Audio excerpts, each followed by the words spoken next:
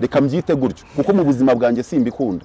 Ariko nibuze navugaga ubwo ntabashije kumukunda kuko yaraje ageze inaha umwana we yananyikundiyemo nananabasha kumukunda ahubwo warahita amubwi- amwiyama basa nk'abamfuye bo. Wari wakunze uriya mukobwa mbese umukobwa ko yari yankunze? Mabuko yaransabye ko nzamukundira umukobwa? Nkaba nkeneye umugore? Cyari ikibazo.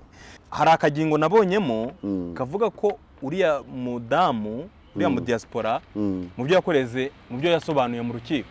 Yavuze ko mwa- ko mwasambanye inshuro eshatu. Ko wamusambanyije ku gahata inshuro eshatu. Twicaye turi gukina ikarita ni ho nari ngeze. Umugore agira gutya arafite iphone zino zihenze. Abayishaje ajya kuyikubita hasi uwo wundi witwa ndagije aba aramufasha. Yikubita hasi ariko ntiya- ntiyagira ikibazo. Yari agiye kuyikubita hasi ngo ayimene nyine yisajije.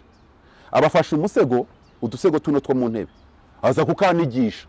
Nicaranye n'abantu ibyo bintu byumve neza. Mm, bari na bamwe mu bambereye abatangabuhamya kandi barakoze. Mm.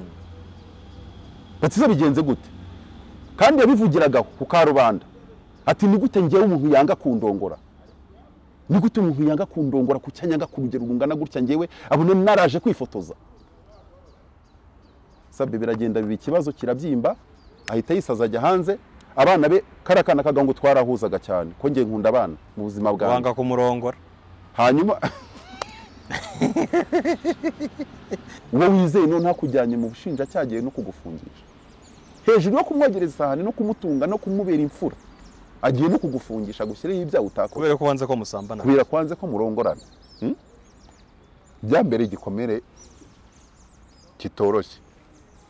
Mm, ntabwo nari norohewe pe.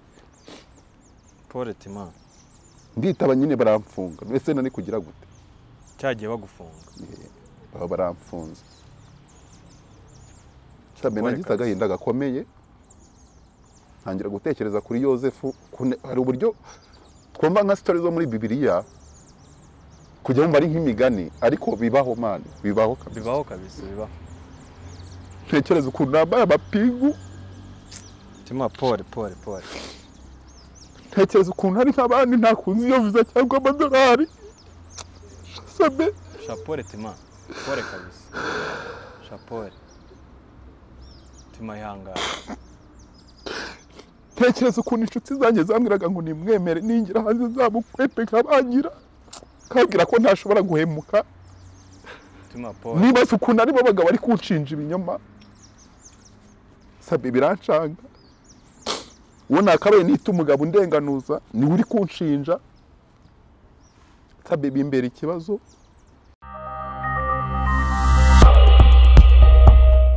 Yes, reka ngusuze kandi nkwifurize ibihe byiza. Kuri Kisimbi TV nizere yuko umeze neza nizere yuko aho uri mu bice binyuranye by'isi ibintu bimeze neza. Ah, nizere yuko ku badukurikiye bitameze neza. Mukomeje gukomera mukomeje kwihangana mukomeje kwakira ubuzima niko bigenda muri iyi si. Uyu munsi biba ari byiza cyane biryoshye. Ejo bikabyuka byahindutse. Uyu munsi biba ari bibi cyane kuri wowe ucitse intege. Ah, ndakubwira yuko ejo bizagenda neza. Uko byagenda kose ntabwo ibihe bihora ari bibi. Ntabwo umuntu ahora mu bukene ntabwo umuntu ahora mu burwayi. Igihe kiragera bigahinduka ah, bikagenda neza. Ibikuremereye umusozi uzamuka menya neza ko igihe kizagera ah, ukawumanuka. Uko byagenda kose. Nicaye kuri hoteli Galaxy mu Kiyovu ndi kumwe na mtumishi wa Mungu Timamu Jean Baptiste. Timamu karame urasa neza? Merci. Hmm? Mm, urasa neza kabisa. Yigo cyangwa urambeshya ndakubeshya ngo mbike. Ndakubeshya ngo nshyire mu mufuka. Urabona ukuntu wicongesheje atari byiza. Mm, Hmm? biraryoshye. Hmm. gusa neza ni kimwe mu bisubizo bi- by'ubuzima bw'umuntu kuko akenshi iyo mvuye nko kwiyogoshesha Hmm. nzi ko nsa neza nubwo nawe mfite ikibazo ariko mba numva hari uburyo ngaragara neza umuntu atabona ibibazo genda ubona ari fresh kabisa. Ni byiza guhisha ibibazo byacu nyine tugasa neza. Ntabwo ari byiza nta kubigaragaza mpamvu yo guhora urakaye umugabo umwe witwa munishi. Twakoranye konseri mu mwaka wa bibiri na cumi na karindwi. Nari mfite agahinda kenshi abona afite agahinda kenshi. Ambwira ijambo rimwe. Arambwira ngo buriya iyo utatse cyane abantu baraguhunga.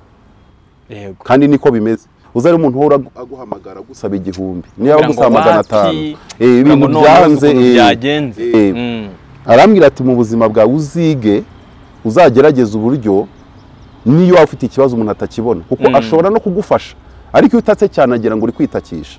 Aba yumva ari ibisanzwe. Yego. Mm. cyangwa akagera bakaba atanakwitaba kubera ko buri gihe cyane uri umunyamaganya Mm. uri umunyabibazo ku buzima bwe. Tujye twihisha mu bibazo byacu. Cyane. Ariko nyagasani ni we uduhisha kurusha ibindi byose. Eh, oya niyo twa- twahisha abantu Mm. ntabwo tuba twahisha imana. Yego. Dushobora guhisha abantu bikemera Mhm. ariko imana yo.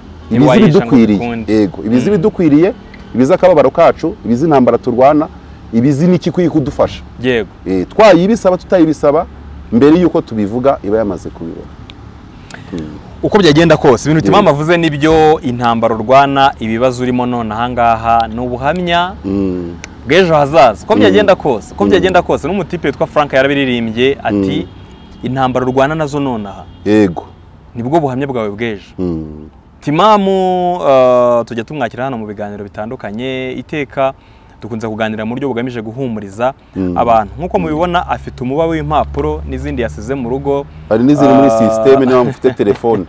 Hari n'iburi ziri muri Eh, sisiteme muri sisiteme Uh, uyu mugabo witwa Timamu Jean Baptiste m- benshi mwamenye amateka ye biciye hano biciye mu muziki we biciye mu bitangazamakuru bitandukanye yagiye anyuramo avuga uko byamugendekeye. By'umwihariko hano. Mm, ariko uh, nk'uko abivuze ati tujye twihisha buri muntu ntakamenye ko ufite ibibazo buri muntu ntakamenye ko byagukomeranye cyangwa se byanze. Mm, uyu mugabo amaze iminsi mu ntambara ikomeye cyane. Amaze iminsi uh, imbere y'ubutabera. Kandi mu buryo abantu bamwe batamenye uh, mu buryo twari kuzashiduka batubwira bati timamu ubu ngubu bimageragere byari gushoboka cyane rwose. Byari gushoboka nshingiye ku byo nabonye biri ku mpapuro. Nshingiye ku byo agiye kudusobanurira n'uko byamugendekeye umuzi wa byose. Bishingiye ku kiganiro yakoreye hano ku isimbi TV uyu mugabo yakoze ikiganiro avuga ukuntu byamugendekeye mu buzima uyu mugabo yavuze uh, ukuntu yagiye agira ibicantege ukuntu byamugendekeye mu rugo uh, nyuma timamu uh, timamu ihangane ihangane muvandimwe. Mm, ihangane sibyo? Yego. Gerageza gerageza wihangane. Ntabwo biba byoroshye ariko umunsi umwe timamu uzabona ibisubizo by'ibibazo byose wagiye uhura na byo. Umunsi umwe. Timamu yarasigaye agenda na pasiporo ndabibabwiye. Yarasigaye agenda na pasiporo kubera yuko yabagaho yikanga avuga ati n'ubundi bishobora kurangira nabi. Ariko nyagasani yamurenganuye ubu timamu imbere y'ubutabera bw'u rwanda yagizwe umwere. Ku kibazo mugiye kumenya uko byagenze gereza nero duti irukanka iruka irukanka irukanka irukanka Ah, humura. Ni cyo kintu mpereyeho kugukomeza Mm. sibyo? Yego. Gerageza wihangane. Wakoze indirimbo yitwa ngo humura mwana wawe yego. Gusa abantu yahumurije ukuntu bangana. Ujye wikomeza. Ndabizi tima wahuye n'ibibazo byinshi mu buzima bwawe. Hari ibyo nzi hari n'ibyo ntazi. Abanyarwanda hari ibyo bazi n'ibyo batazi. Sibyo? Cyane. Ah, kuko kubona umuntu w'umugabo arira ni ubwa kabiri nkubonye kuri kamera urimo urarira. Ah, nyuma y'ikindi kiganiro twagiranye eh, nko mu mezi atanu ashize. Wari ufite sentetizeri icyo genda byibuka ufite umucuranzi niba utarimo wicurangira niba byibuka Ah, ariko humura. Mm, komera. Sibyo yego tima? Karame. Wemera ko umunsi umwe uzaseka mu mutima wawe. Reka ndeke kuvuga guseka inyuma. Erega nta nubwo umuntu ahora arira igihe cyo guseka kijya kibaho. Hari n'abadukurikiye babizi ko byivanga birivanga. Mm. isi biricanga bikivanga. Mm, ariko nanone bizashira. Nta kintu na kimwe kitagira iherezo. Mm. Mm, nta kitagira iherezo kandi humura bizagenda neza. Yego. Umunsi umwe uzaseka mu mutima wawe. Ntabwo ndimo ndavuga guseka inyuma. Hari igihe umuntu aseka inyuma adasetse. Cyane. Ndavuga guseka wijijisha kugira ndavuga ngo gusekamo imbere muri wowe mu mutima wawe timamu ukavuga uti ndabizi. Amateka arahindutse. Kuko wahuye na byinshi byagutsikamiye. Mm, Uh, reka nongere nkugore nkwinjize mu kibazo cyawe. Yego. Kibazo. abanyarwanda uko byagendekeye timamu usobanurira abanyarwanda cyangwa bakunze timamu uko byamugendekeye kugeza ubwo wageze ubwo wiheba? Ukavuga uti "Uh, bishobora kurangira mfunzwe kandi nzira ubusa Mm, bishobora kurangira uh, ndenganyijwe. Kandi nzize kuba narizeye umuntu nkamugira inshuti nkamuzana mu buzima bwanjye. Bishobora kurangira bigenze nabi mu buryo bumwe cyangwa ubundi.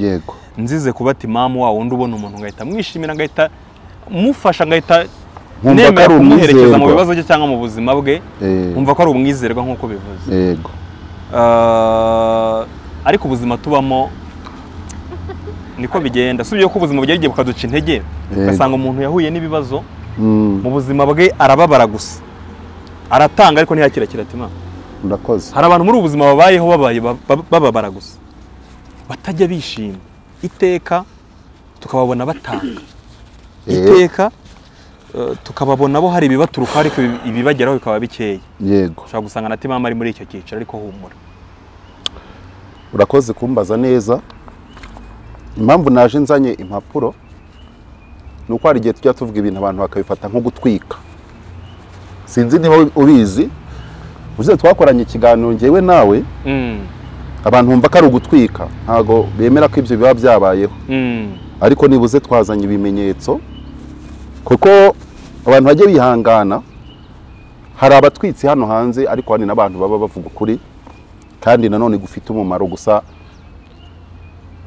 kugira izina ni byiza no kutarigira na byo ni byiza byose Kurushaho. bifatanyirizaho Kurushaho. ego mm.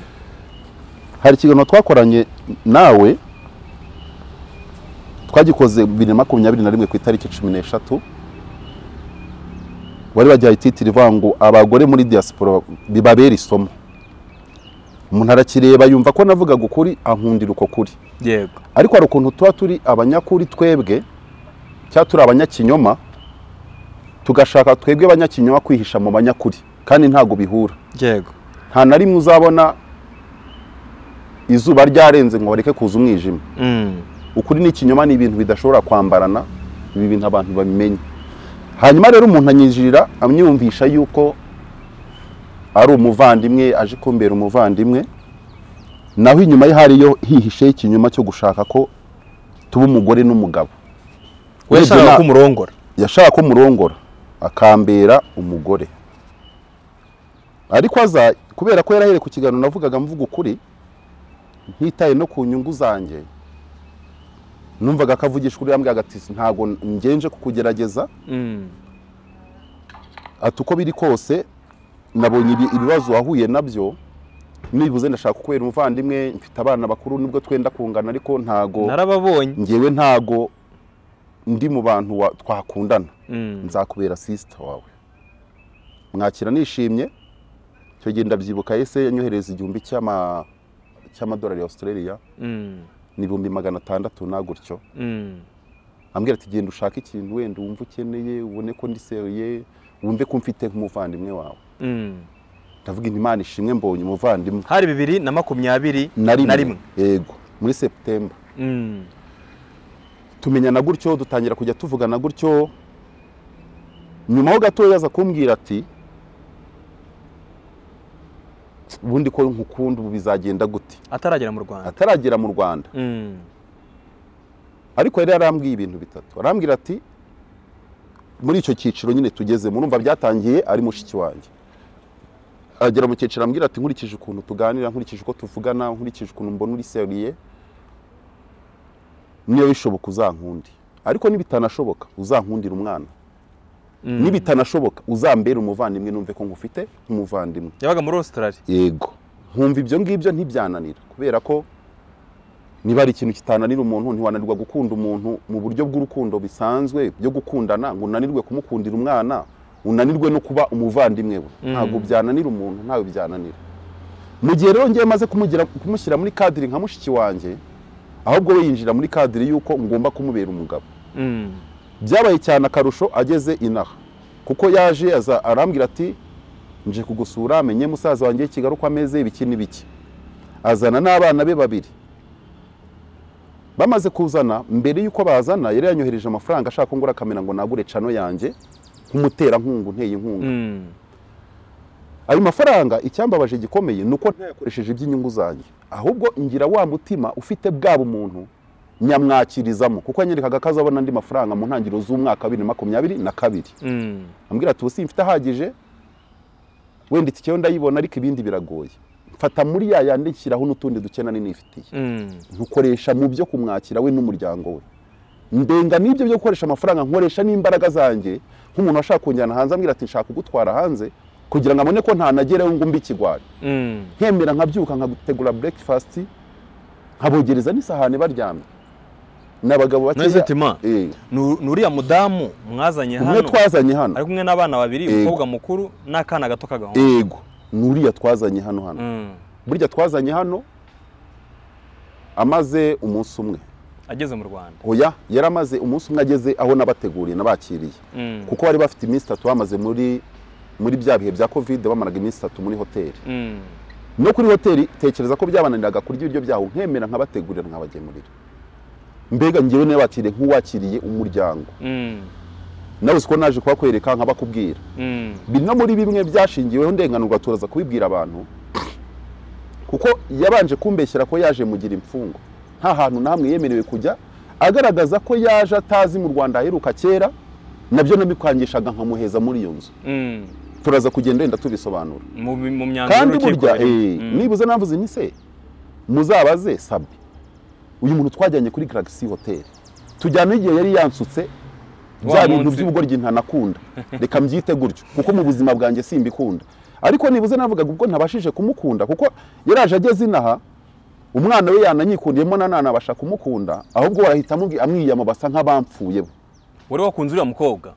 Mbese umukobwa ko yari yankunze? Mabukwe yaransabye ko nzamukundira umukobwa? Nkaba nkeneye umugore? Cyari ikibazo. Wikundira ka gakobwa keza. Ese kari wari kuri guyanjye nari gukunda utari muri guyanjye oya wenda sitonangana ariko nibuze. Nk'umugabo n'umugore birashoboka. Mm. ariko ntabwo nari kujya gushaka umugore njyewe undusha imyaka. Ntanakunze biranashoboka ko namushaka. Ntabwo gukunda umuntu ari imyaka. Ukora gushaka nyoko ukora gushaka n'umugenera gushaka.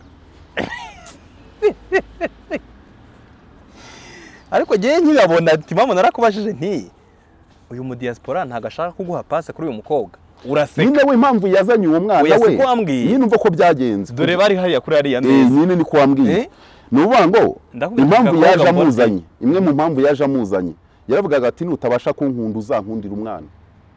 Eh, uzankundira umwana. Yego umbere umukwe Eh, numvaga ari ari ukumukundira ka gahungu oya gatoya. oya uzambera umukwe. Noneho um- yego. Urumva n'umukobwa yageze kumuma tuvuganaho gato. Bisanzwe. Ariko ntidukunde kuvugana cyane ariko akaba inshuti ya mama we cyane. Mm. noneho rero bageze inaha umama we aba nkunze noneho cyane aravuga ati uko nakubonaga ndabona bitandukanye nuko nkureba arayo reka dukundane njyewe umukobwa mureke okay si yabimbwiye muri kadi ahubwo yahise amwiyama kunyiyegereza no kumvugaho n'iki kuko urumva bakigera njye nkijya kubareba kuri hoteli Mm. umukobwa yaratangiye kunyigeraho.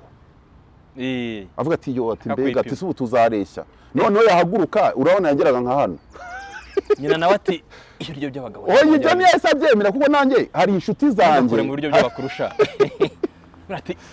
hari inshuti zanjye hari Mm. inshuti zanjye nari najyanyeyo. Urumva ukuntu nari nabiteguye njye ntabwo nabiteguye mu buryo bubi. Naravuze uyu mubyeyi yarakuze nubwo afite urukundo. Reka mutegurire umuntu wo mu rungano rwe nanaza niyo bamenyana akaba yamwokipa mu biganiro nk'abantu abantu b'urungano ibyo baganira bitandukanye n'abantu mutangana. Mm. mfata abantu b'inshuti zanjye babiri. Inshuti zanjye cyane. Harimo umwe. Ntabwo ndi buvuge amazina ye si ngombwa. Mm. ariko mu kazi- y'urukiko hari ibyo nabonye birimo amazina. yego birimo amazina ntacyo ariko sinanayavuga. Si ngombwa bariyizi kandi baranambona baranabireba babimenye. Kuko baranampemukiye Mm, nibo bagushinje? Nibo bari abagabo be. Kandi baba abagabo b'ikinyoma bakurikiye utudorari. Mm, bagushinja banshinja. Mu rukiko kandi banshinja ibinyoma. Nibyo turi buze kugenda tu- dusangira mu kiganiro nubwo ntazi aho turi buze kugisoreza noneho umwe muri abo bagabo b'inshuti zanjye ndibuka yabaga ahantu habagera ubwo inzu y'utuntu twe twose dushya. Mfata materiyale ziriva umuntu umuntu abika munsi y'igitanda ndayimuha. Mfata isahani ndazimuha. Mfata amashuka. Mbega twa dukoresho twose twibanze nk'umuntu w'inshuti. Bigera kuri revo yabaga iwanjye nk'aho tubana. Nta nzu y'ubukode yishyura nta cyo kurya ahaha akaba azi ko ari ahantu agomba kuza akaba ubuzima bwe bwose. Ntacyo yikanga icyo nkwiye akakinywa icyo ndiye akakirya tukagendana aho ngiye nkamutegera. Urumva uwo muntu iyo nshuti. Mm. uramwitangira. Mu- mbanza kumuhuza nabo batarazi ariko muhuza nawe ngira ngo kuko bari mu mu rugero rumwe cyangwa mu cyiciro kimwe na memutayi na sayizi ziraberanye zajyana. Urumva? Mm. mbahuza kugira ngo niba ngombwa bazanikundane cyangwa babe n'inshuti. Usa n'utanze ubundi si- pase mbese n'ibicamo nta oya bindi ntabwo mbyita pasi kuko Mm. Abanyarwanda ngo inshuti igusiga indi. Mm. yari inshuti yanjye musiga indi nshuti niyo yanjye. pase rega yo mu kinyarwanda ubwo ni ubwo niyo pasi Niyo tubyite gutyo. Mm. hanyuma hari harimo undi numvaga ari uzanambera pare. Eh, ni ubukwe mwari mwabupanze hoya yarambwiraga ati uko biri kose ntabwo ibintu biri bwange byose. Nusanga uyu mudamu utabasha kumukunda ntabwo n'umwana se byakwanga. Ariko tukanavuga tuti noneho tukanavuga tuti ibyo ni ibinanga njye ariko ku giti cyanjye kuko bo ntibabyumvaga. Hano hanze abasore bahari beze n'abagabo bahari beze ni abitekereza kujya hanze ni abitekerereza izindi nyungu zitari urukundo. Mm. ariko ngiye kuri sayidi yanjye nkumva ko nibitemera ngomba kubakira nk'abanyamuryango. Ni no kadiri nabakirimo nkimara kubona ko batangiye gushwana hagati yabo bombi. Noneho ba nyina bahungu n'umwana Mm. iyi nyina n'umwana noneho ba bahungu batangira bwo kwiyomeka kuri bo kuko bari bazi uburyo mbanyemo nawe bavuga ati natwe dukeneye izi nyungu. Urabizi hano hanze hari n'umuntu wakwica kubera inyungu akukeneyeho. Cyane. Akaba yakwica rwose akakurangiza. Mm. guhera ku munsi wa mbere njya kubareba. Ntabwo nigeze mba ndi njyenyine. Najyanaga nabo. No kuri hoteli twajyanyeyo. None umugore atangira kwisunga uwo umwe ntavuze izina nubwo riri buzenda kuncika nkarivuga simbizi ndaba ntabishaka. Avuga ati njye mberanye n'uyu ndabona uri muremure cyane. Umva harimo aka joking ariko harimo n'ukuri. Mm. Ageze aho rero ni we wanyibwira live arambwira ati rero ibintu byahindutse. Nta byo kukubera mushiki nta n'ibyo kumbera umukwe ugomba kumbera umugabo. Eh. Numva ndikanze. Ndabwira ise kwambwiye ko uzuje kunsura nka musaza wawe ibyo bije gute? Cyane ko nabonaga ntabasha kumukunda. Ati niko bimeze. Ati kandi ubwo niba utandongora ntunankunda ntidukwiye no kugira n'ahandi duhure nanjye nawe. Musaba igihe cyo kubitekerezaho ariko ngira ngo nawe yitekerezeho. Akiri muri ya nzu ye. Muri iyo nzu nabakiriyemo iri igikoni. Mm. nawe ni ho wabaga?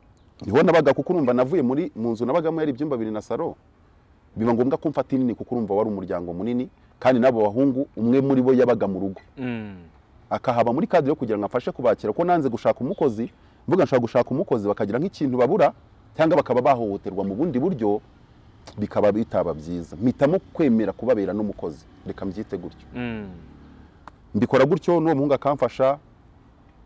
Hanyuma bitangira kujya bigera mu masaha abana be baryamye tumaze kurya abantu baryamye. Umwe yararaga muri saro kuko inzu urumva bari benshi buri wese afite icyumba cye. Ariko muri saro hari heza naguze intebe zihenze. Mm. nk'umuntu wakiriye abadiyasipora ntabwo wajya kugura ututebe twandagaswe Mm. kabiri ku muntu ushaka kukujyana hanze noneho wanakoherereje. Nubwo hari ayo wongeye ariko wakoze no muye. Mm. kandi yarambwiraga ati humura umwaka utaha nzayongera nyaguhe nzaguha n'ibirenze ibyo. Yashakaga no kumpa imodoka. Mm. ambwira ati nkufite kakado nzaguhare ga? Ntise gute? Ubwo tuganira. Ati se aka ati nzagushakira akado y'ibirahure. Hmm? mbega agaca amarenga nkumva ko ari imodoka ashaka kuzangurira. Ariko ibyo byose ibintu byose umuntu yaguha umuryarya cyangwa kubeshya. Njye kuri njye numva nta kintu bimaze. Mm. Mpitamo rero kumwereka uruhande rwanjye rw'ukuri rwa timamu nyirizina uwo ari we. Icya mbere ntera intambwe yo kwimuka no guhindura ubuzima bwanjye kubera umuryango we. Ibyo yaba ari umuntu muzima yari kubiha agaciro. Kabiri arahagera abona ko nabiteguye mu buryo bushoboka. Kugenda ukagura ekipoma zose muzi ukuntu ibikoresho hano hanze bihenda. Burumvikana ubwo naguze ibindi bitanda bitatu. Njye nari mfite kimwe. Mm. ntabwo nari kuraza aba- abadiyasipora hasi. Bagomba kuryama ahantu heza ye. amatera njyewe ntabwo njya ndyama muri amusiteri ariko zari ngombwa amusiteri sibyo Mm. ni ukuvuga ngo bo bagombaga kuziryamamo kugira ngo hatazagira n'uribwa n'umubu Mm. amashuka ntuzategura ishuka imwe hagomba kujya havaho imwe buri munsi nk'abantu basanzwe baba mu buzima bwiza Mm. ubiganira gutyo ushobora kutumva uburemere bwabyo ariko biraremereye njya kugura amasahani adasanzwe njye ntariraho. Y'abadiyasipora ashobora kuriraho akumva yishimye uramwakiriye amasahani neza. y'abadiyasipora n'amafurusheti. Y'amadiyasipora meza y'icyubahiro ku buryo Mm. babona ko bakiriye neza. Ibyo ngibyo yamaze kubikora noneho aho nari ngeze nyuma wenda uze kunkurikira ujye umfasha unyobore. Ati mwajya saa sita? tugeze mu masaha ba- baryamye Ya abana bamaze kuryama Mm. atangira kujya asanga mu cyumba cyanjye. Kuko nanjye nari mfite icyumba cyanjye. Mpamagara umwana umwe nashatse kuzana n'umushuti wanjye witwa Eric ariko mbona si ngombwa. Ndamuhamagara musaba kujya aza akandaza kugira ngo wa mugore atazajya antera mu cyumba cyanjye. Mm. kuko arambwira ati we sinshaka kuryama njyenyine mbabarira bikangora bigasa nkaho birimo kudushwanisha. Birarangira. Bimaze kurangira nzanye Eric bivamo.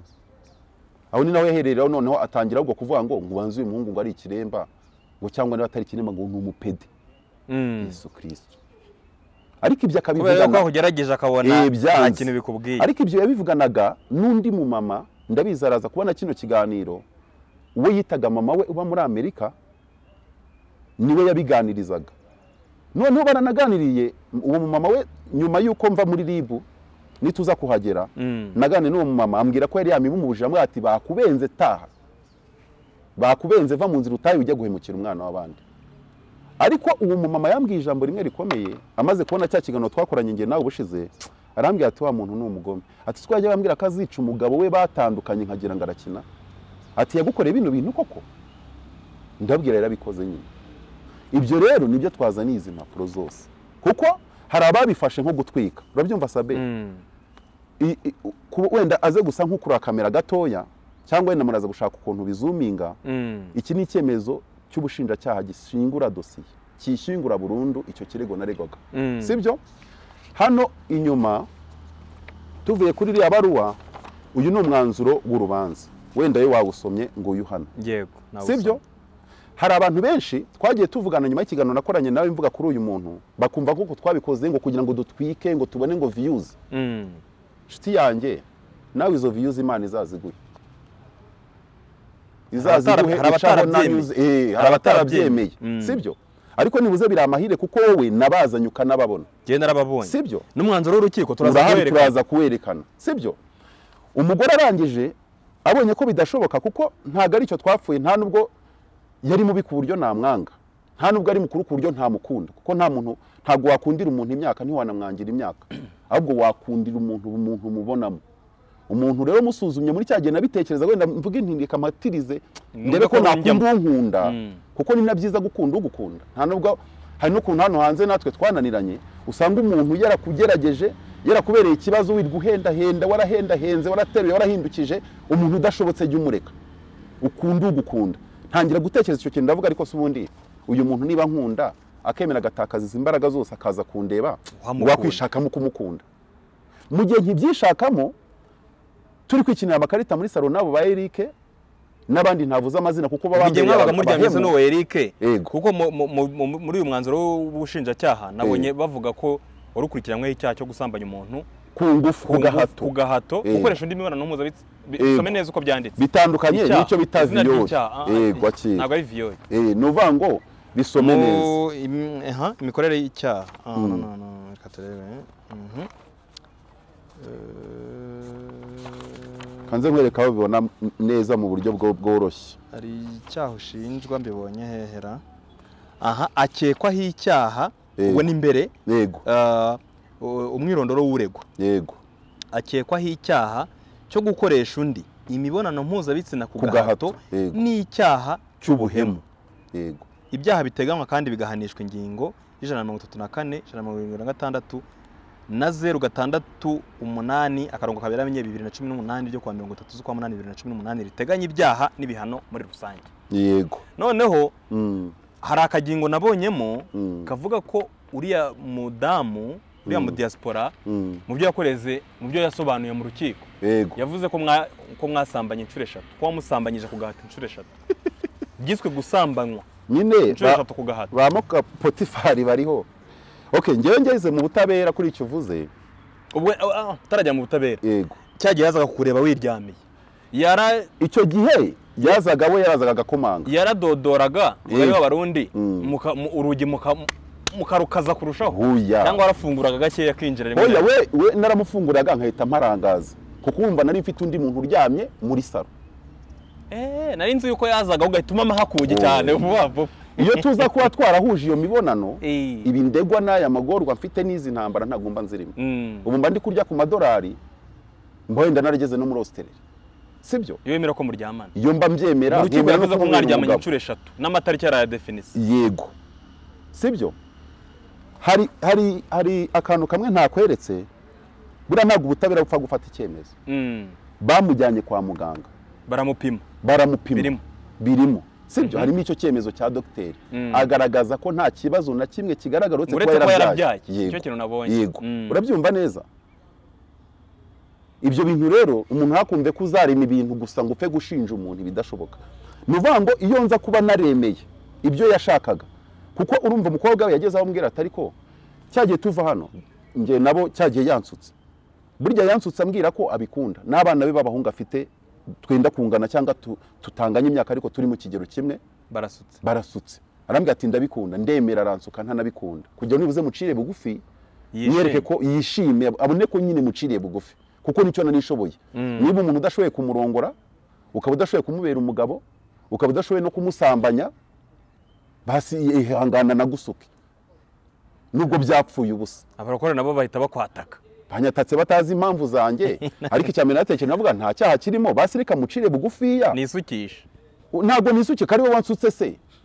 Erega ni we wanyisukiye bwite arabizi kubikora. Ubwo tugeze aho mwabaga muryamye? Yego ni ho twari tugeze. urumva? Noneho buretse gato wenda tutarakomereza aho ngaho.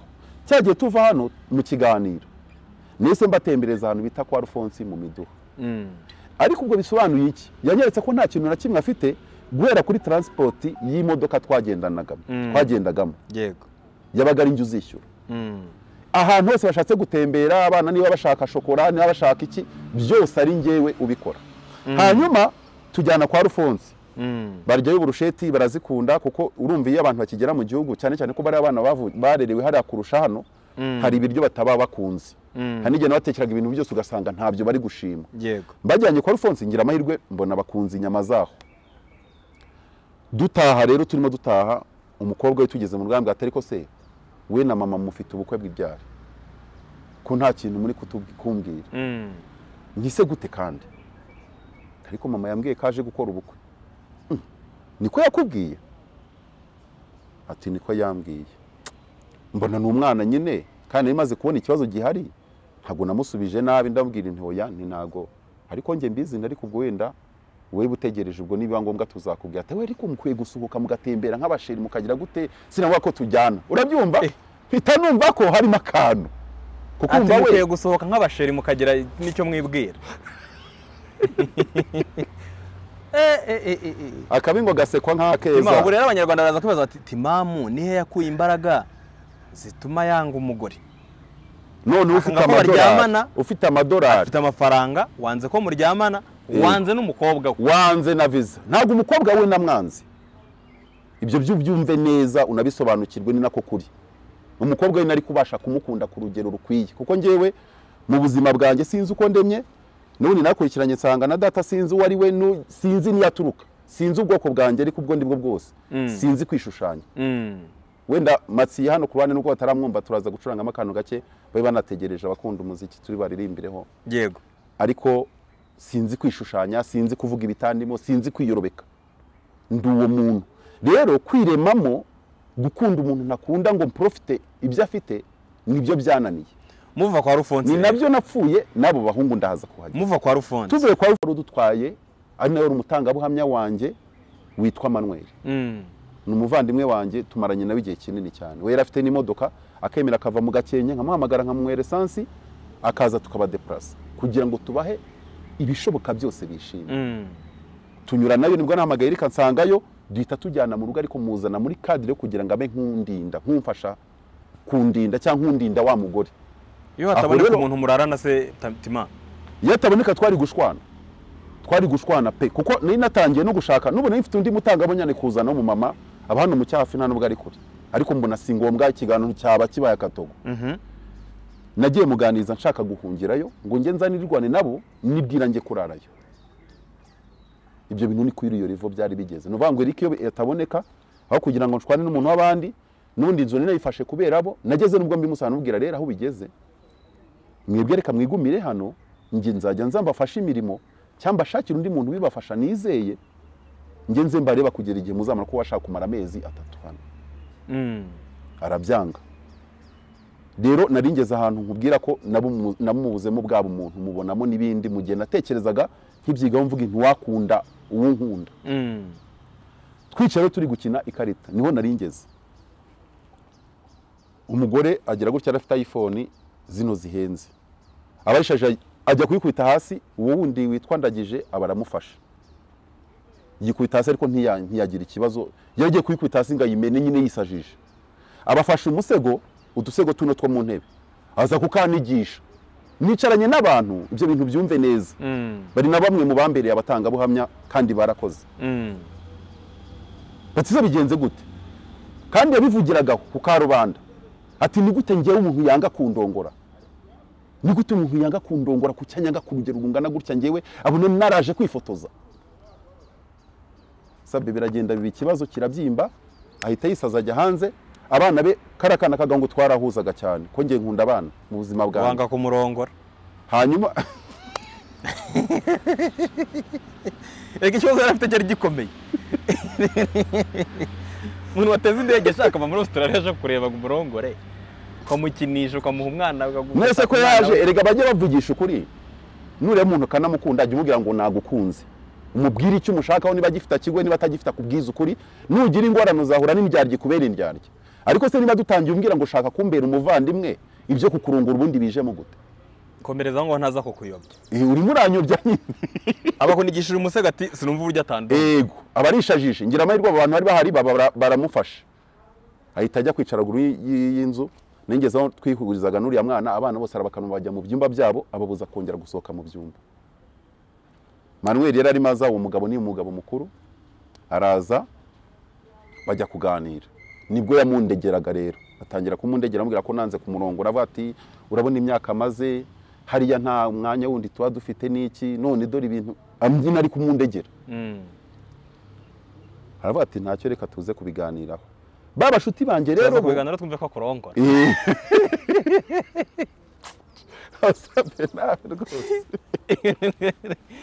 Nko gufata iyo niba yijyanye kuyimisha cyangwa niba ari ukuyibangurira niba ari ukuyigira gute. Shasabye ibyo bintu byihoreye mani imbabarira ubireke mbashe kwiganirira. Kuko birababaje. Wenda turabivuga duseka ariko biteye agahinda. Uruhande rumwe biteye agahinda gakomeye ngo ntawe uribara nk'uwariraye hanyuma rero uwo munsi urahita iryo joro ubwo nanateguye amafunguro barayanga. Umwe muri bo rero ni ho ba bandi baprofitiye b'inshuti zanjye batangira kubikundishaho. Kuko umwe yari- ni igicumba. Yaramubwira ati uri imari i burayi. Timamu naza ugomba gushaka ukuntu abo bashuti banjye. Mm, wa wundi wo muri renji ye mm, aracumbagira ubumuga yagize bw'akaguru. Mm. aravuga ati wowe uri imari ugeze hanze. Waba ukanakira baguha amafaranga menshi kubera ko wamugaye. Aravuga ati nimuza nzashaka ukuntu kuri dosiye ye tumugushyiraho nk'umuvandimwe. Muzane. Urumva batangiye kumva izindi nyungu bagiye kugira. Kabiri uwo w'inshuti yanjye wundi wa kabiri yari afite umwana ashaka akajyana hanze. Arabwira ati ntacyo umuntu iyo aje abana baba bemerewe. Tuzamugira karo ati mama umwana wawe nawe azi noneho bo bakampatira kumurongora kugira ngo baprofite za nyungu zinyomekeyeho. Kandi mbona bidashoboka. Mm. icyo ni cyo kintu cya mbere napfuye n'izo nshuti zanjye. Bavuga ati abahungu umuntu. n'ubu hari abahungu bajya bampamagara nanabiyame mbasabe imbabazi mwoka byaramwe mushaka andi mayira mubinyuzamo mumumenye tekereza nk'umuntu utinyuka akampamagara akambwira ngo nimuhe pasi. Ngo wanyihereye ngo uwo muntu koko? Kandi ubu watangira Erega abantu ngo babaye mu buryo butandukanye tima. Uwo umuntu aramubwira ati mbabarira wowe kabyara we ndongora uti hoye undi wari waravuga ati uko waba umeze kose ngiye nakurongora. Hoya n'ubati niyo yaba ari umuntu wapfuye amaso. Ntaribi ariko apfa kuba afite amafaranga. Rero abo bantu rwose mu mbabarire iyo nimero narayisibye nta nimero y'umuntu ngira nta n'iy'umuryango we ngira. Ntaho mpuriye nawe n'uwo nza hari n'uwo mbibwira ngo ntayo mfite ntabyemera. Akumva ko nyimwimwe ariko mwoka byaramwe mu mbabarire ni umubyeyi mukuru cya mbere sinamuvuga amazina ngo mujye kumushaka. Icya kabiri n'ubwampemukiye ntabwo namuhemukira kuko ugirira inabi uwo ugira ineza uwo yegiriye ntacyo aba avuze. Ahubwo ni byiza ko tugirira ine- ineza batugiriye nabi. Nibwo tuba tubaye abantu batunganye imbere y'imana. Wa munsi urarangira wa munsi urarangira. Maze kurangira rero mbona ko wa muntu bidashoboka. Arangije arambwira ati rero ibyo gukundana reka tubireke kuko nabibonye ko udashobora kunkunda. Ahubwo reka tujye mu murenge dusezerane. Nagusezeranije ko nzakujyana hanze nkujyane hanze. Ariko ndebye sirikirasiyo z'ibibazo zi- zimaze iminsi ziriho ndebye ukuntu bimeze n'ubugome afite ndavuga ati uyu muntu agejeje hanze ashobora kuba yankorera ibidakorwa. Musaba igihe cyo kubitekerezaho na byo kuko ntabwo nabyemeraga na byo neza. Ngisha inama hari ababyeyi bamwe bakuru kuri njye nagiye ngisha inama banabizi. Umwangira inama nambwira ati uyu muntu mwihorere. Ashaka kuguhima mugasezerana agira ngo agende akudekarare koko ariko ari ukugira ngo akuvune. Kugira ngo uzongere tekereza kuzongera ukajya gushaka divorce y'umuntu utanakunze.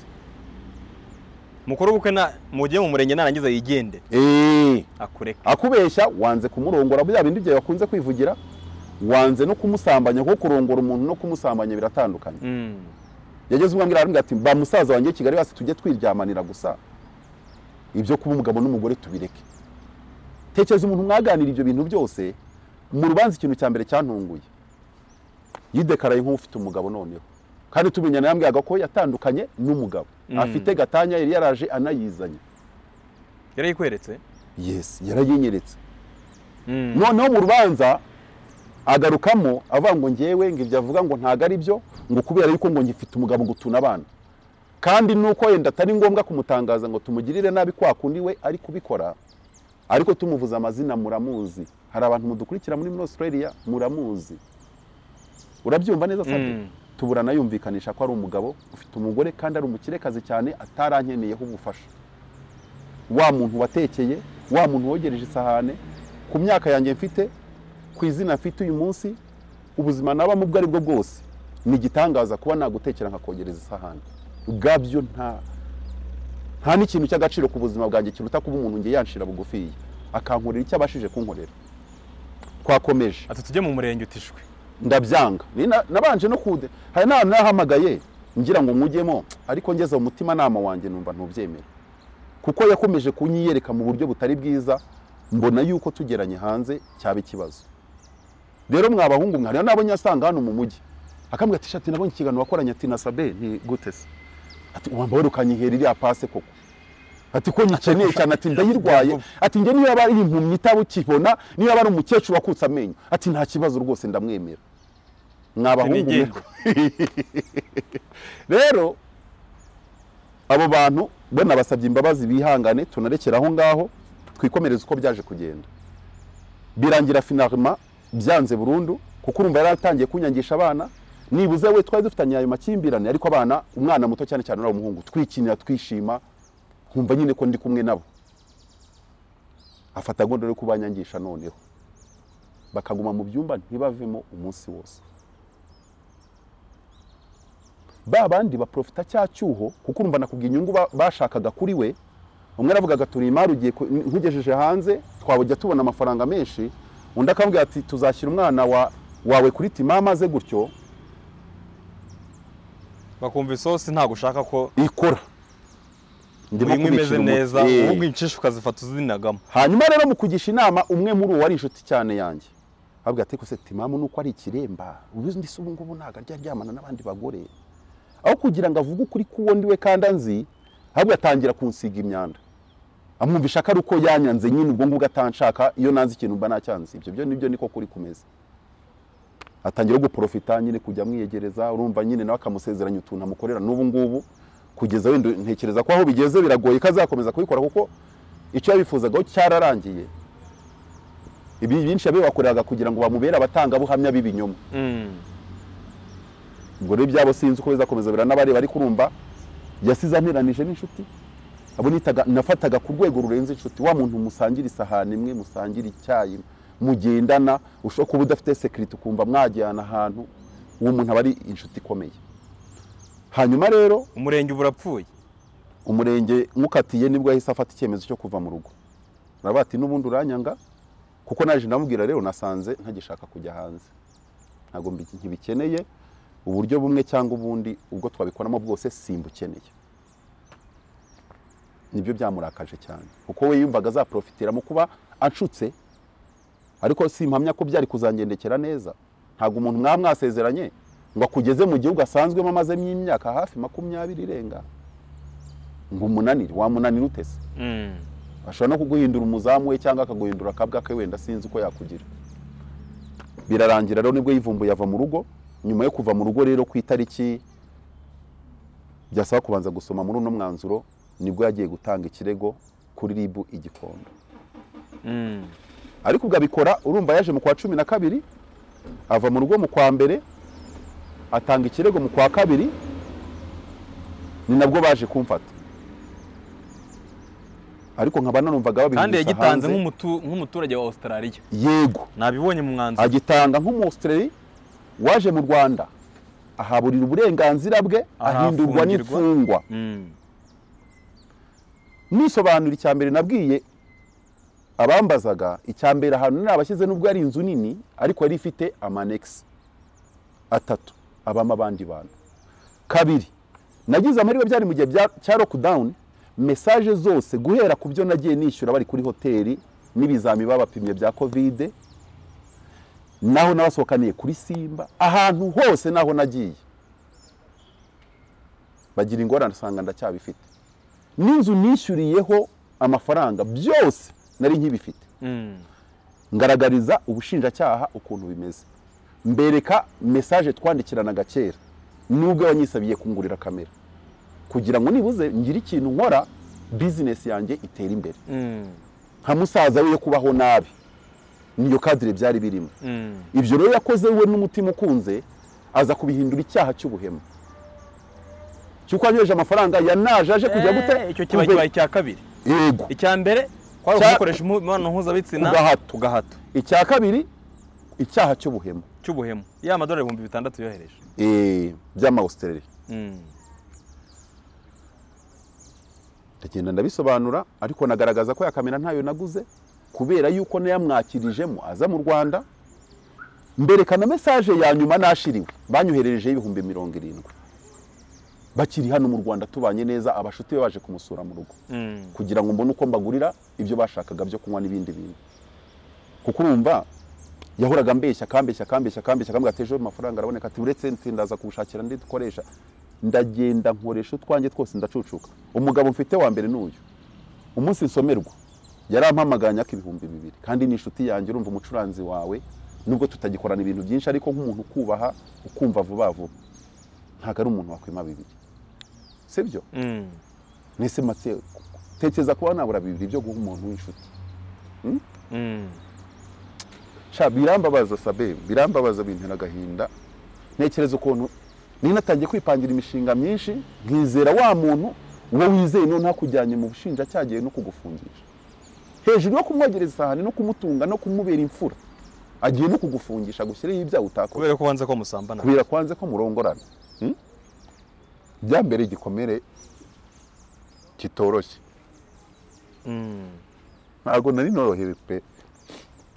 Paul Tima nditaba nyine baramfunga. Mbese nari kugira gute? Cyagiye bagufunga. Baba baramfunze. Pole nagize agahinda gakomeye. Ntangira gutekereza kuri yosefu hari uburyo twumva nka sitori zo muri bibiliya kujya wumva ari nk'imigani ariko bibaho mani bibaho kabisa. Bibaho kabisa bibaho. Ntekereza ukuntu nambaye amapingu Tima Paul Paul Paul ntekereza ukuntu hari nk'abandi ntakunze iyo viza cyangwa amadolari. Sabe Shapole Tima. Paul kabisa. Shapole Tima ihangane ntekereza ukuntu inshuti zanjye zambwiraga ngo nimwemere ningira hanze nzamukwepe nkabangira kabwira ko ntashobora guhemuka. Nibaza ukuntu ari bo bagabo bari kunshinja ibinyoma. Sabe birancanga. Uwo nakabaye nita umugabo undenganuza ni we uri kunshinja. Sabe bimbera ikibazo. Ndagenda ndakubitwa. Uzi gukena wari ufite miliyoni zawe zingahe wazakiriyemo umuntu wamwizeye? Bikarangirira mu rukiko. Bikarangira ugiye no mu manza. Uhagarariwe umuntu afite abavoka babiri wowe uhagaze wenyine. Nta muntu udafite n'uburyo wa- wagira n'ukuburanira. Nabitekerezo nkumva umutima wanjye ugiye guturika. Nari maze iminsi ndi kuzerera ibihugu numva nshaka guhunga.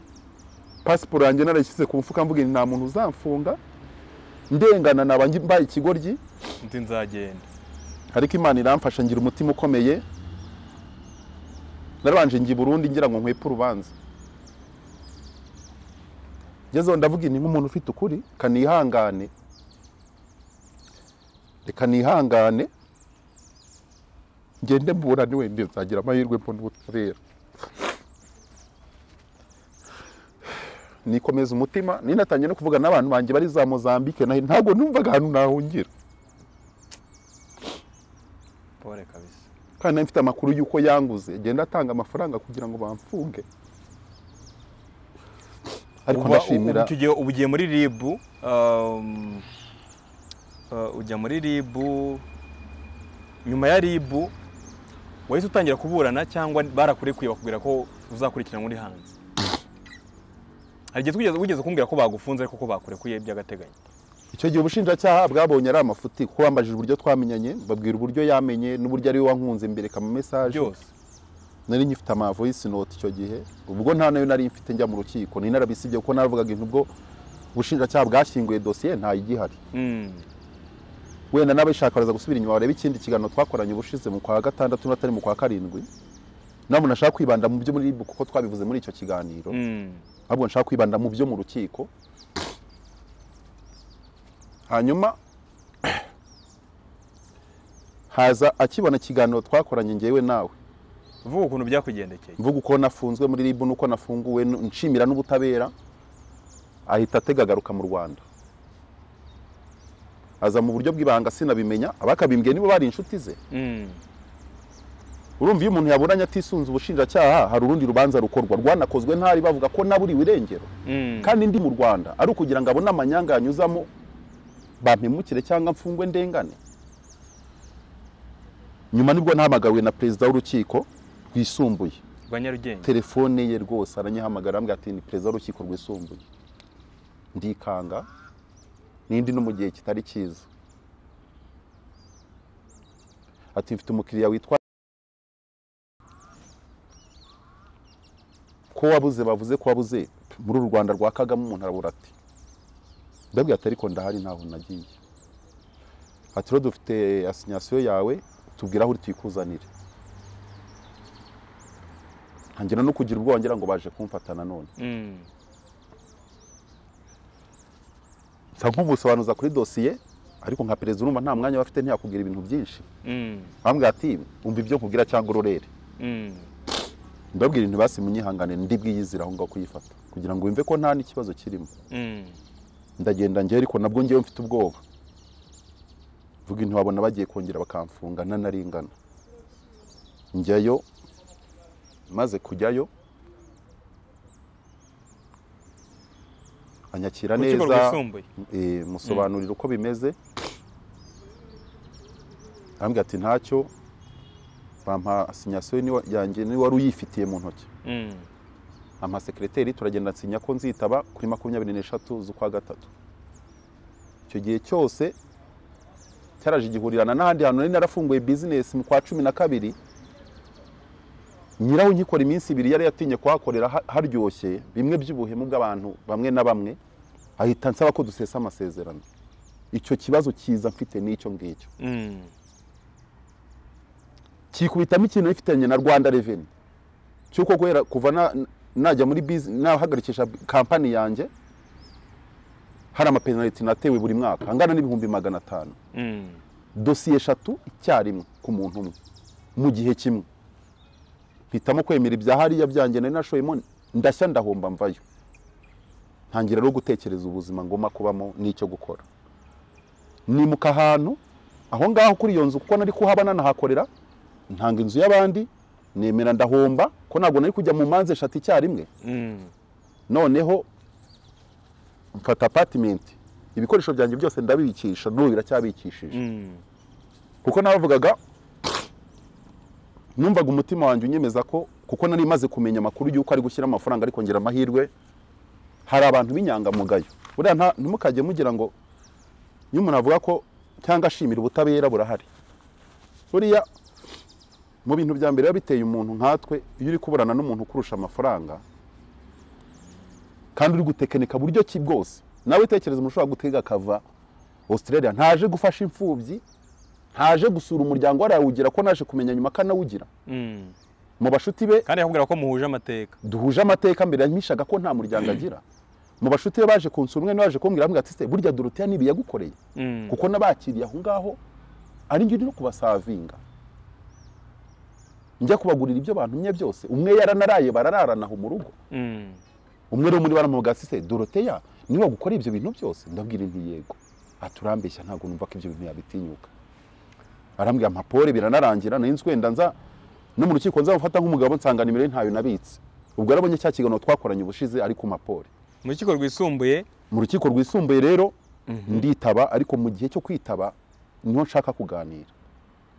Nari mfite imitima myinshi. Narabanje njye Burundi numva nagenda burundu kuko n'ibintu byanjye nara- narabibikije n'ubu biracyabitse ubu ni bwo nibuze nongera ngiye kongera mfata aderesi ni bwo ngiye kwimuka ngira aho mba numve ntekanye.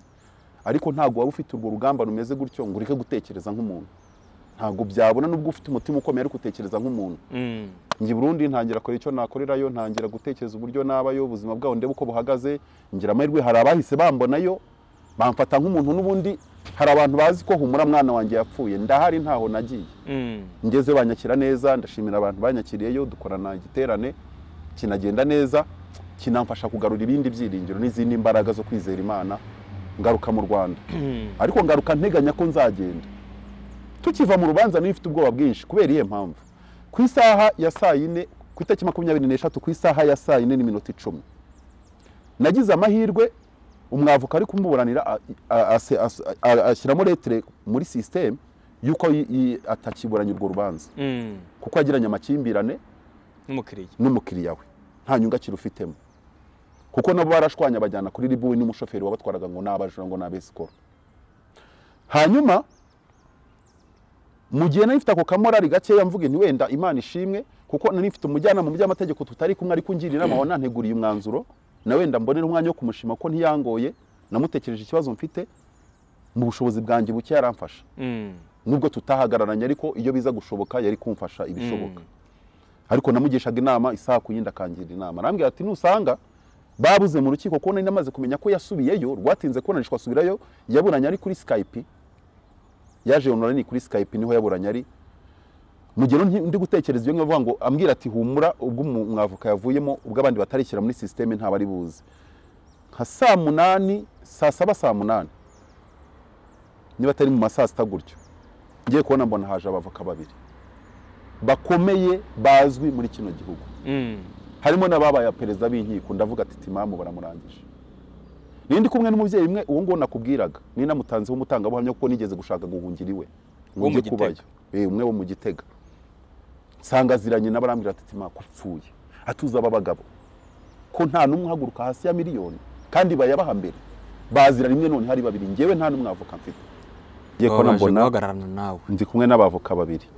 Ariko nyine urumva nabanje guterwa ubwo nagiye ngiye kureba uwo mama ko yari ari hanze ngo tuvugane gato nsanga ahagararanye basuhuzanya arabamperezanta tusibe ni we tuje kuburana nawe? Tuti rero wihangane twe turi abanyamwuga. Ati Bati kubona tugiye- tuganira nitugera mu cyumba. Nitugera mu cyumba.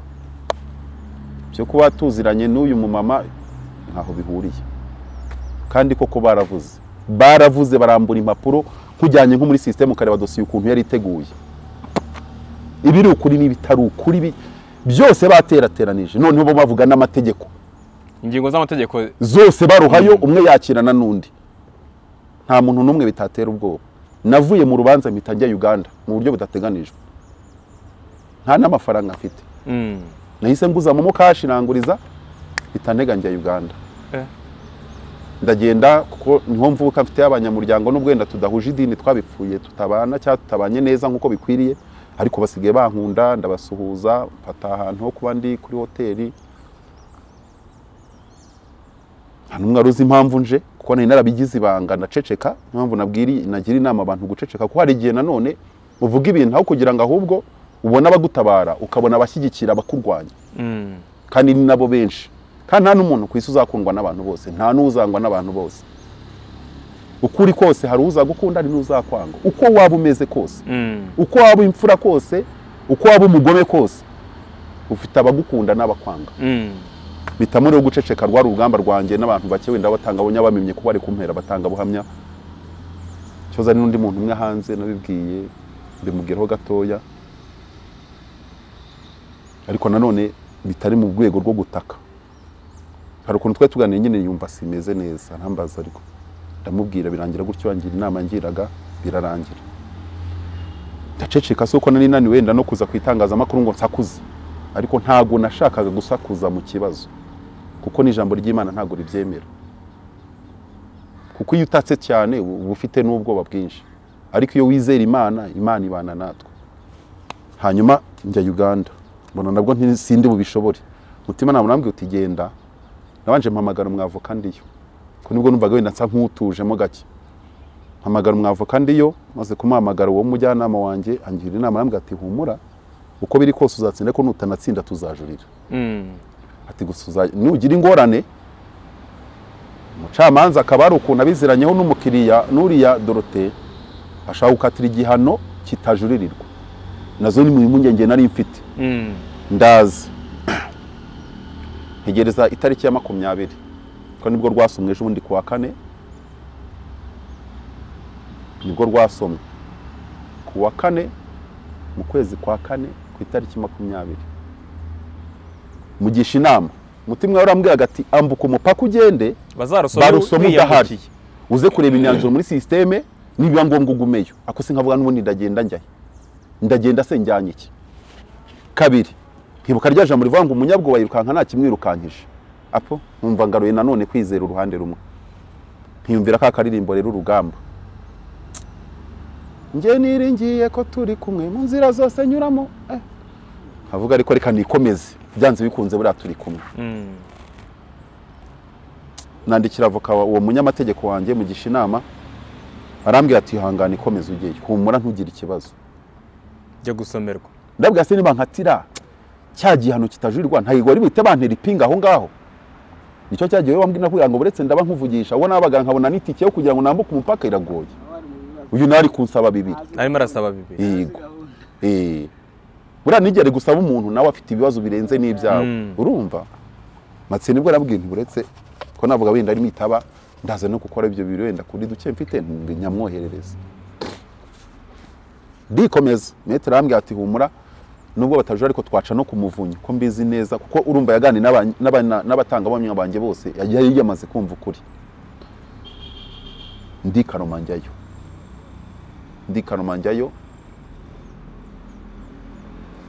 ntago basoma ibi bapapuro byose ureba hano harimo uburyo ntuziteguye bisomera aka gapapuro k'inyuma. Mm. wenda ndaza ugasaba ari ugasoma. Nibyo byiza. Ntacyo gasome gasome itema gasome ibintu byari bimaze imyaka ingahe bikwirukansa icyemezo cy'urukiko gisome ni byo byiza. Mm. Eh, aha. Icyemezo cy'urukiko. Yego. Byari ku itariki makumyabiri. Birebe neza. Byari ku itariki itariki ko nari ndimo nyibonara birahari ariko. Niba itari habanza irahahera. Hanyuma hahera. Ireba itariki neza. Okay byari ku itariki makumyabiri z'ukwa kane bibiri na makumyabiri na gatatu. Mm. rwemeje ko ikirego cya ntabwo ndi bumuvuge kubera yuko Eh, ntabwo ari ngombwa. bimeze. Mm. nta shingiro gifite. Yego. Iyo uri uwo muburanyi tuvuga ngo ahwi sibyo? Cyane. Rwemeje ko ariko aho utarakomeza. Nubwo bavugaga ngo nta shingiro gifite. Bitewe n'uko ha- bari bafite ibimenyetso by'uburyo yanyohereje amafaranga. Mm, nubwo mfite uburyo nayakoreshejemo nanjye mbugaragaza. Mm. ariko mirongo inani ku ijana nari mfite impungenge z'uko agiye kunyishyuza amafaranga ntazabona. Kandi ari bo bayakonsomye ari bo bayakonsomye bakajya no mu ibimenyetso by'uko ari bo Eh, wayakoresheje eh. bari bo bayakoresheje. Ariko nibuze nkavuga ngo Mm, wenda utarakomeza. Nkavuga ngo nibuze ningira amahirwe ikiba kiri penali kivanywemo ikiri sivili kiroroshye. N'amafaranga kuko icyo gihe wayashaka metero yangiriye inama arambwira kujya nta na yo nari gushaka guteza nari kujurira mpaka mbonye ubutabera. Kuko nizera ko hari igihe ujurira rega bakagufunga niyo kibazo kibamo. Metero akakubwira ati rero dore ukuntu ibintu bimeze. Metero yambwiye ati wowe reka humura mbanze asome iyi myanzuro Eh, komeza. Mu gika cya cumi na gatandatu rwemeje ko jean batiste timamu adahamwa n'ibyaha aregwa akaba agomba gutsinda. Eh, ako kantu rero. Ruvuze ko nta ndishyi zitanzwe. Muri uru rubanza. Muri uru rubanza. Yego. Mu gika cya cumi n'umunani rutegetse ko amagarama uyu nyira runaka yatanze aregera urukiko ahwanye n'ibyakozwe mu rubanza. yego. Aho rero nuko rukijijwe kandi rusomewe mu ruhame none kuwa makumyabiri z'ukwa kane bibiri na makumyabiri na gatatu. Cyane. Umucamanza yitwa nyiransaguye atanaziye yego. Umwanditsi yari nirere pasikaziye yego. Bari abadamu gusa. Bari abadamu bonyine. Mm. na yo ni amahirwe kuko buriya abadamu iyo baburani- baburanisha iby'abadamu baba bazi amacenga yabo. Nayo ni amahirwe. Hari ukuntu buriya na yo ari amahirwe. Ni umugisha ubu w'imana usimbutse mageragere uko tima Eh, wumvise umutima wazamutse akahe karirimbo natwe oya natwe. Umutima wazamuka akahe karirimbo natwe turusomeye mu ruhame kuri social media. Amagambo ashire ubwo uzi abantu b'abashuti banjye abo bakorera hafi aho najyaga ncayo gutya nabo duhura gutya.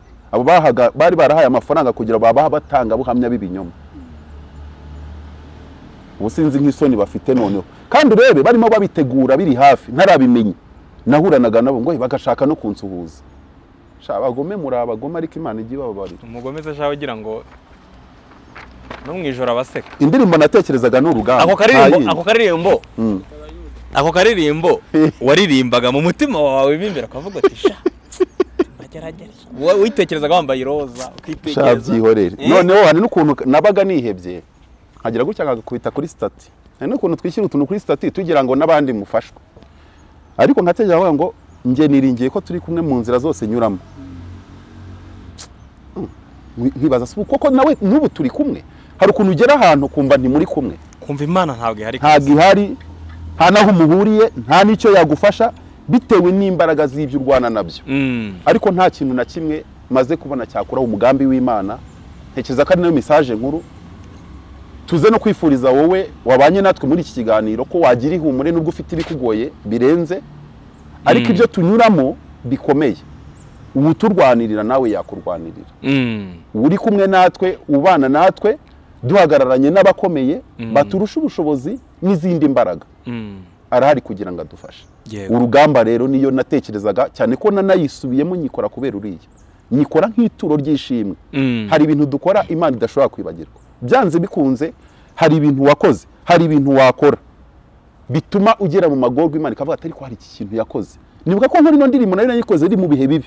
Ariko inzamo mu mutima ngo nyikore nk'ishimwe ry'uko natsinze. Mm.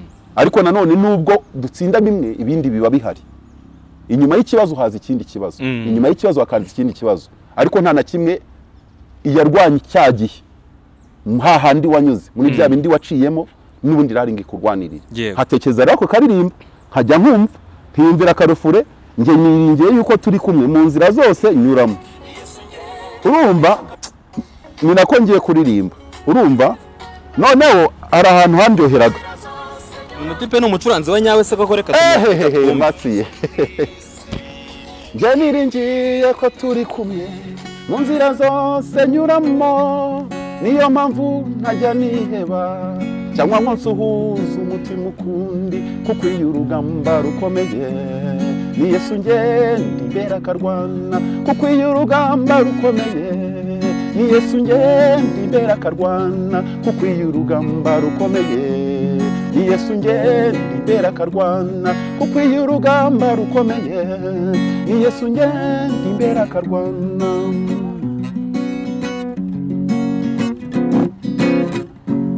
Mwene data reka nkubwire muhumurize. Naho wahura n'ibiteye ubwoba ntukihebe. Ujye wiringira uwiteka imana n'umutabazi wawe. Kandi atabara iyo urugamba rugeze mu mahina. Yaniringiye ko turi kumwe mu nzira zose nyuramo. Niyo mpamvu ntajya niheba cyangwa ngo nsuhuze umutima ukundi kuko iyo urugamba rukomeye. Ni yesu ngenda imbere akarwana kuko iyo urugamba rukomeye. Ni yesu ngenda imbere akarwana kuko iyo urugamba rukomeye. Ni yesu ngenda imbere akarwana kuko iyo urugamba rukomeye. Ni yesu ngenda imbere akarwana haleluya haleluya haleluya tima haleluya amen. Tima Karame. Wa mugabo warakubite iyo ntekereje Shamana. oya njye mgira indirimbo nyinshi zimpumuriza ariko zigera aho zikanashira. Mm, byato waryo urayifite. Ni ukuvuga ngo mm. hari ukuntu ibihumuriza bishira sabe bigashira pe. N'ubu tuvugana hari abadukurikiye byashize. Mm. bitewe n'igihe runaka urimo akavuga ati sha nibe nawe uri i kigali. Byonyine. yego. Eh, akabira bate hano? Eh, cyane. Nibe si n'ibyo si n'ibyo Mm. gusa. Hari ingamba nyinshi hariho ingamba nyinshi.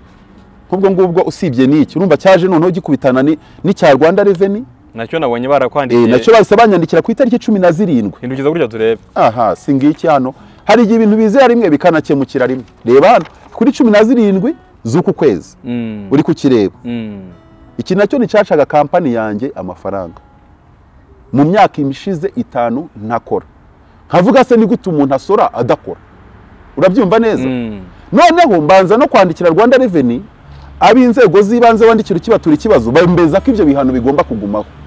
None mpangayikira rimwe. Barakanira. Ngiye kujurira uwo nagishaga inama ubwira se ninde wandenganura? Basi ni handi nabaza bamfasha. Kuko navugaga se nzajya gusora amafaranga icya mbere ntayo mfite kabiri sinakoraga. Nkumva ni ikibazo. Hakaba na rwa rubanza ruri ku ruhande noneho aho na rwa rubanza. Ibyo bintu byumve byombi ukuntu biremereye. Nkumva u rwanda ndarwanze abayobozi batureba mukora mu nshingano runaka muzikoreshe neza. Mm. kuko ushobora gutuma umuntu ahunga. Naho komiseri mukuru nabonye Eh, yahise nyine ni cyo nshaka kukubwira. Ariko nubwo yandenganuye akankuraho bino bihano uwo uwo nabanje kunyuraho yari yabyemeje. Amaze no kubyemeza ambwira ijambo ribi. Ndamaze se basimbarize handi bamfasha urumva ni umutungo wa leta? Si n'inyungu z'umuntu ku giti cye aransubiza ngo ibyo ngiyo twafashe icyemezo ngo rega ibyo ngibyo ngo ni nko gusamba. Gutya iryo jambo. Ahita yigendera. Leta yikubita aragenda. Mbarize hese ndamukurikira mbarize hese. Ngo bazahera kuri resebusiyo ngo ugende ubaze. Ahita yigendera. Leta agenda nkubita ishoti arigendera. Ni ukuvuga ngo mbere y'uru rupapuro nari mfite urundi nkuru rwemeza ko ibiri amafaranga yemejwe ko agomba gutangwa. Komiseri mukuru aba yanyujemo umurongo. Mba ndabyanditse. Urukiko rukuru Ruba narwo- rwisumbuye narwo ruravuga ruti imamu jean batiste aratsinze. Eh, rero buriya urakabura amahoro Mm. nako urakabona amahoro ukene. Aho kugira ngo ukire nta mahoro ugira. wakenana amahoro. Noneho utima. tekereza ibintu guhuriraho ukaba uri mu gihe cya krize noneho usibye na krize ukaba nta n'amahoro ufite. Waturika n'umutima ugasanga ukiruka. Ibintu wanyuzemo abantu benshi ntabwo babimenye. Ni inshuti gusa bibwiye inshuti. Na zo ni ibintu wahanganye na byo ngira ngo uyu nguyu yagusabaga bibiri atazi ikibazo ufite. Nta muntu n'umwe nawe ntabyo wari uzi. Ntabyo ejo bundi rwanyandikira nta urambwira uti muntu n'umwe wari ubizi. "Oya, nanjye nzi ko timama ameze neza. Hoya no twahura niyambariye gutya. Nigendera n'iyitaye yanjye nitambukira. Eh, ufite amahoro. Ariko eh, eh, eh, pasiporo yanjye ntago yavaga pasiporo ngiyi. Uteyeho ni burage agiye wabyibore ambwira ati pasiporo. Ntaho ijya. Oya eh, eh, eh, nagezeho nyihinduye imari ku buryo. Nanayibuze nari gusa. Navugaga ati ningira ingorane. Nkasanga bankatiye igihano kuko kujya gusaba indi kitajuririrwa nari kuyivana ntibishoboka. ntibibaho wayihabwa nande se ninde wayiguha kandi ugiye no kuyisaba umenye ko babanza kugusaba iyo wari ufite. Yego. Nkavuga nibuze wenda? Nzakina igitsi nirukanke kuko nanone iyo ubuze ubwenge imana irakwihorera urumva ariko reka dusoreze kuri iki eh, kintu warumbajije ikintu cyiza uvuga ngo Mm. inshuti zanjye ntago zabimenye. Nta zabimenye nyine. Warabicecetse. Eh, ubu ariko nibuze ndifuza ko zibimenya ni na yo mpamvu twakoze iki kiganiro kugira ngo Mm. n'abashatse ko ujya habi yego. babone yuko imana yagize icyo ikora. N'abababaye bahumurizwe n'ibyatubayeho yego. N'umuntu ufite ikintu kimuremere- kimuremereye mu buzima bwe atari kubonera igisubizo none aha ngaha. Eh, yizere ko ejo gihari. mama uko Eh. numva yabonye igisubizo. Yego. Ikindi n'abantu bamenye ubuzima wari urimo ukuntu ibintu bimeze. Inshuti zanjye. Eh, hari inshuti zanjye zikomeye ntanabibwiraga Mm. hari umuntu twari tumaze iminsi rwose tuvugana mu bufaransa Ikindi ariko cyane, Timam, hari uwo muri Canada mwitondere abantu bitwa abadiyasipora baza bababwira bati ndagukunda. Hari igihe birangira nabi nka gutya. Ibaze iki, cyaha cyo kumusamba cyo kumukoresha imibonano mpuzabitsina ku gahato iyo kigufata. Iyo kiza kumpama imyaka icumi? Eh, none se kuvuga icyo cyonyine? Ubwo se reba bwa mbere aza yategesheje ibihumbi cumi na kimwe. We n'abana y'amadolari by'amadolari agomba ya-. Australia. Bwa kabiri yategesheje ibihumbi umunani yabonye ari byo bari bashyize mu kirego. Urumva? Iyo kusanyije yose hamwe yageraga nko muri miliyoni nka makumyabiri ari gusaba n'indishyi zirimo urabyumva neza? Mm. izo se zo nari kuzazivanayo. Timareka nkwereza iki kintu? Mm. Byagusigira irihe somo ibi bibazo umaze iminsi ucamo kandi yego. Bije byitwa ko biturutse ku nshuti. Cyane ku muntu akaba yaguhumuriza. ku muntu wazanye mu buzima akubwira ati ngiye kukubera mushiki wawe. Warakubititse Ego, mu buryo ntabwo nshaka kuzo umva sinshaka kuzongera kukubona ubabaye. Nutanankunda kandi uzakunda umukobwa. Uza uzankundira umukobwa. Cyangwa oya nutanadukunda ngo tube twakundana. Uzambere musaza wanjye. Nzakubera mushiki wawe kuko warakubititse Yego, bihagije. abantu banashingiye ku mateka yawe. Uwo muntu aje kukomba ibikomere bya bindi byose abantu bamenye bikarangira byongereye. Iby'urugo iby'amateka iby'ibibazo urimo uranyuramo. Iby'imivukire by'imiryango byose. Akakubwira Eh, ati ngiye ngiye kukomora ibyo bikomere. Ngiye kukubera mushiki wawe. Ukaba wisanze imbere y'umucamanza. Byagusigira irihe somo isomo rya mbere ubu ngubu wenda n'uza kunda cyangwa n'uzandeba. Ikintu cya mbere nterwa impungenge n'impuhwe ngiriwe. Uterwa impungenge n'impuhwe ngiriwe Mm. si uyu muntu nyuma y'impuhwe ngiriye hihishe y'iki? Ni nabwo buzima rusange. Mm. n'abakundana hano hanze muri mu buryo bw'urukundo bisanzwe. Nyuma y'uko uyu muntu ankunda hirya yaho hihishe y'iki? Isomo rya mbere ni uko ngomba kureba hirya ya nonaha. Niba amenyanye na sabe namenyanye na kanaka niba unkunda niba uri umufana wanjye niba ukeneye kunsapotinga cyangwa kumfasha ikintu runaka niba untumiye mu giterane ku ngubu gahunda mfite ngiye no gutegura konseri mu isi iri imbere ahubwo Mm. Eh, ngiye gutegura konseri ubu mfite amahoro ntawe unyirukanaho ntawe ndakumfungisha ubu ngiye gutegura konseri ngiye gutegura igiterane ntuje kandi imana izabifashamo n'ubushobozi ndabizi buzaboneka kuko iyo iyo twizeye ishobora ibintu byose nta na kimwe idashobora. Mm. nubwo twe tujya tugira kwizera guke ariko imana nemera ko ishobora ibintu byose. Nkurikije ibyo maze gucamo. Ariko nyuma y'uko ubundi unantumiye muri konseri nubwo uri pasiteri uwo uri we wese izina witwa icyo uri cyo nyuma yacyo hihishe iki? Kuba waba inshuti yanjye ndi umuntu ukomeye ufite umurimo runaka ushinzwe. Hirya y'uko uri inshuti yanjye hari iki? Niryo somo ryonyine dukwiye gutekerezaho. Ikindi kintu wenda nshobora kugiraho inama ku babanye natwe mu kiganiro cyane cyane ababa hanze ni uko mukwiye kubwiza abantu kuri mbere y'uko mukora ibyo mukora mwitwaje ibindi mushoboye ku buzima bwabo. Wikwihisha mu bushobozi wikwihisha mu Mm. gushukisha umuntu ikintu kindi runaka ngo agukunde. Mm. ahubwo turi kumubwiza ukuri ukiza kandi ikindi umenye ko ibyo uzakora byose nubikora utabiteguye n'ubundi uzajya mu gihombo. Ubu se dore eh sorry. Ubu ari mu nyungu. Ubu ntabwo ari kurira yo kwanika koko. None se tima eh. Warababajwe uh, mu- mivukire yawe mu mikurire yawe mu rugo warahakomerekeye mu buryo bukomeye abantu bumvise ayo mateka. Mm, n'umuntu uje akubwira ati ngiye kugukiza ibyo bikomere byose wahuye na byo birangiye uko Mm. ubu ndi kwibaza tima amazongera kunde? Tima amazongere uh, umukobwa ahubwo mwaporoche umva ahubwo nkubwize ukuri kw'Imana ko mu ijuru. Noneho mbivu- mbikubwize ukuri. Icya mbere ndi mukuru. Sibyo? Mm. umuntu mukuru wese agomba gutekereza ejo hazaza kuruta none. Ahubwo ubu ni bwo mbishaka cyane kubera iyo mpamvu. Ibibazo by'umuntu uri wenyine ntabwo ari byo by'umuntu uri kumwe n'undi. Yego. Iyo nza kuba ndi mariye ntabwo iki kibazo mba narahuye na cyo. Mm. hari ibibazo rero nubwo wenda no mu rugo muba mufite ibibazo ariko hari ibyo mwarenze. Bimwe rero mu byo nshaka kurenga n'icyo ngicyo kirimo. Nicyo ngicyo kirimo. Cyane rwose ngomba gufata icyemezo nka- nkaba umugabo w'umugore urabyumva? Mm. kuko ntabwo bivuze ngo kuba waremukiwe na mama ugahemukirwa n'uwo wakunze ugahemukirwa n'uje kwitira mushiki we ntabwo bikuraho ko hari umuntu muzima. Abantu bazima byanze bakunze babe bake ariko Baracyahari. yego. Nibyo navuze gushimira uyu mucuranzi. Mm. nkubwira ngo muri iki gihugu baza agaciro k'abacuranzi ukuntu bimeze n'ukuntu batereye bameze nk'abasazi. Mm. uzi kugira umucuranzi mugenda n'imyaka yose atanagukurikiyeho izindi nyungu? Mm. igihe zihari zikabara hari niba nta na zo ntazo. N'ubu nampamagaye nawe ngo duhurire hano. Nkwereka akantu dukora. Ntiyambajije byinshi nambwiye ngo nyishyura na moto. Mm. nubwo wenda ndi buyimutegere. Ni ubushake bwanjye ntabwo twabipfa ntanabikoze abantu be bazima bariho muri make. Abantu bazima bariho. Mm. mu bintu bari- bwibaze ntekereza ko bari bugarure cyane muri komantere yego. Baraza kubaza ariko ubundi wa mugani? Kubera iki timamu yanze kuryamana n'uyu mugore?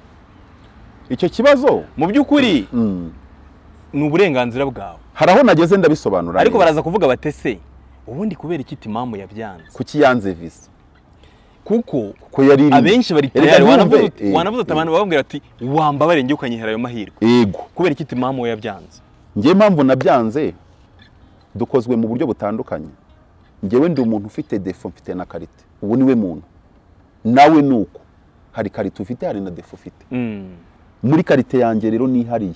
Imwe nzi. Ntabwo nshobora kubasha kubeshya umutima wanjye.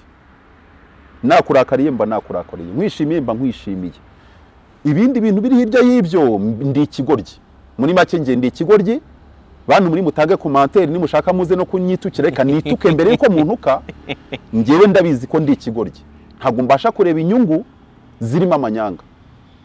Ntabwo mbishoboye pe. Mm. na bibiri na cumi na karindwi mpagarikisha iriya kampani yanjye nari mfite radiyo mu isoko rya nyarugenge iri sosho ino isanzwe itari itari itari ayo maradiyo iri- iroko ahantu.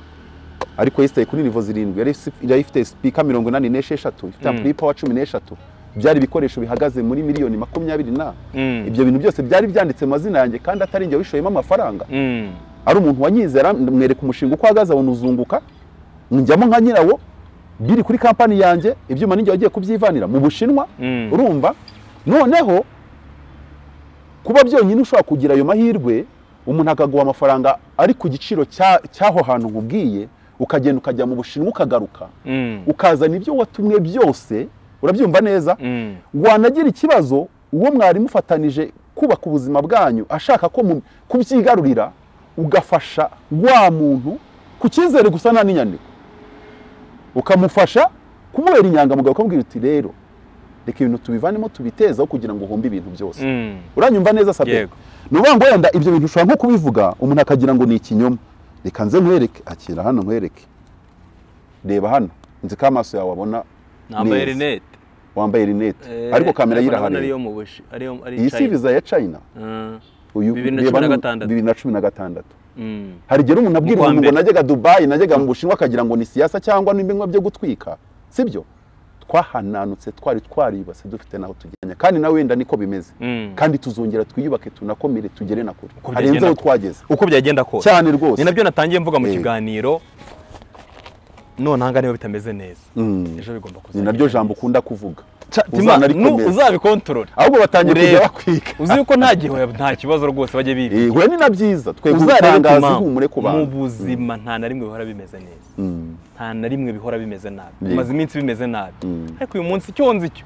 Icyo nzi cyo tima uraryama ugasinzira bizinesi bigiye nibuze- bigende. ubu nibuze wavuze ko ugiye gutera konseri sibyo? Ubu nibuze ubu nibuze. Nakubwiye ngaho kugira ngo nkire ntagira amahoro. Wakenana amahoro. yawe. yego. Kenana amahoro yawe. Amahoro Mm. arahenze. Iyo uriho nta mahoro ufite kuko nta kintu wagura mahoro amahoro ariko? Wakibura nta kintu wagura umunezero. Ntacyo ntikibaho rero iyo ufite amahoro n'umunezero biragendana. Mm. nibuza ukanezerwa ukagira n'ubwo wasiwasi ziza n'impungenge zikaza ukitekerezaho umwanya muto ariko iyo ufite ya mahoro ushobora no kurya wa mwumbati cyangwa bya bijumba ukaryama ugasinzira kandi ukumva utuje. Ntawe ukwirukanka nta mirindi y'abakwirukankana Mm. ariko imirindi y'abakwirukankana ducitse cyangwa imana idufashije gusimbuka ibihererwa icyubahiro tima reka ngushimire nyagasani kandi akomeza agukomeze aguhe inshuti nzima Mm. aku- aku- akwi- akwiteho abane nawe Mm. kandi akurebe icyoroshye warababaye urakoze mwana wanjye tima humura urakoze cyane. Mm.